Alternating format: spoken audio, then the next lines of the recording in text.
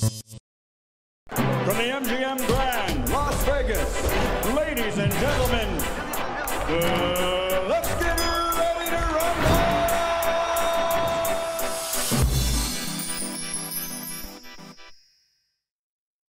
Isang malungkot na balita nga po mga amigos sa kapapasok-pasok lamang na balita, prospect ni Floyd Mayweather Jr.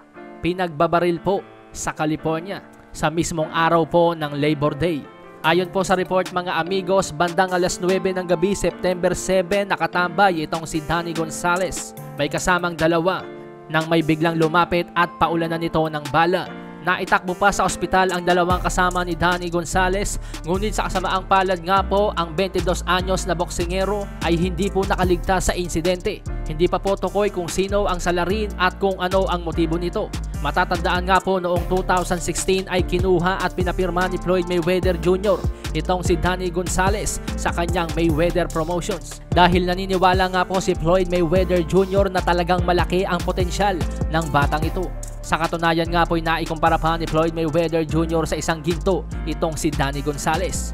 There are certain times when you know you've just struck gold and this is one of them. Yan po ang pahayag ni Floyd ng kanyang matuklasan or ma-discover itong si Danny Gonzales. Nakapagtala nga po ng 96 wins, 13 losses sa amateur itong si Danny Gonzales habang nakakatatlong panalo pa lamang sa professional nang biglang maglaylo ito sa boxing noong 2017 Ngunit earlier this year nga po mga amigos ay nagpost ito sa kanyang social media account at nagpahiwatig ng kanyang pagbabalik. Marahil ay naantala rin ng pandemic. Pero kung ating nga pong panonoorin ang estilo nitong si Danny Gonzales, mapapansin po natin na medyo hawig din kay Floyd Mayweather Jr. Tara silipin po natin mga amigos. Bien cerradito, Dani. Eh.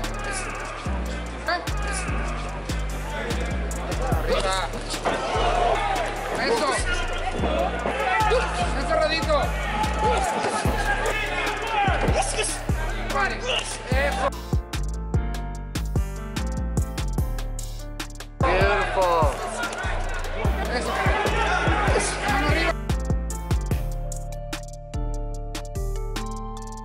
Nagpaabot naman ng pakikiramay ang presidente ng WBC na si Mauricio Sulaiman sa pagkasawi nitong si Danny Gonzales at ang buong kampo ng Mayweather Promotions.